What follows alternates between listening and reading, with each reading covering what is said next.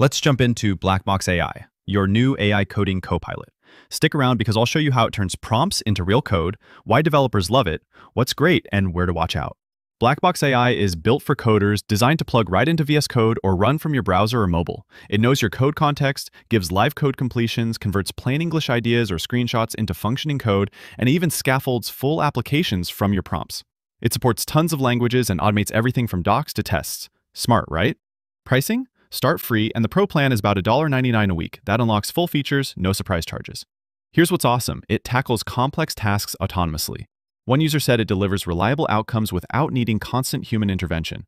It's fast, context-aware, and keeps pace across multiple files. You can go from idea to MVP in seconds, ideal for both beginners and seasoned engineers. There are also some trade-offs. It can stumble on really large debug jobs and occasionally generate buggy or insecure code, so a real-world review is smart. Plus, there's a bit of a learning curve and you need stable internet.